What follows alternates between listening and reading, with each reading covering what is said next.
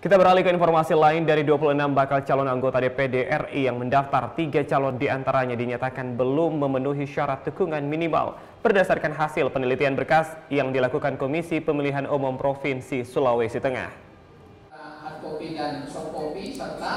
Komisi Pemilihan Umum Daerah Sulawesi Tengah minggu siang secara resmi mengumumkan nama-nama bakal calon anggota DPD RI yang dinyatakan lolos setelah melalui tahapan penelitian berkas. Dari 26 bakal calon anggota DPD RI yang menyerahkan berkas dukungan ke KPUD Sulawesi Tengah, tiga di antaranya dinyatakan belum memenuhi syarat. Tiga nama tersebut yakni Agus Salim, Usman Samudin, dan Adi Kusuma Wahab. Ketiga bakal calon anggota DPD RI yang dinyatakan belum memenuhi syarat ini karena mereka mendapatkan sanksi pengurangan 50 bukti syarat dukungan. Karena dalam berkas yang mereka serahkan terdapat sejumlah data ganda dan data pemilih yang sama dengan bakal calon lain.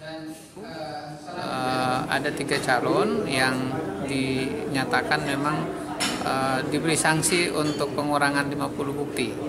Yang pertama itu Pak Usman, kemudian Pak Agus Salim, yang ketiga hmm, Pak Pak Adi nggak salah ya, tiga orang.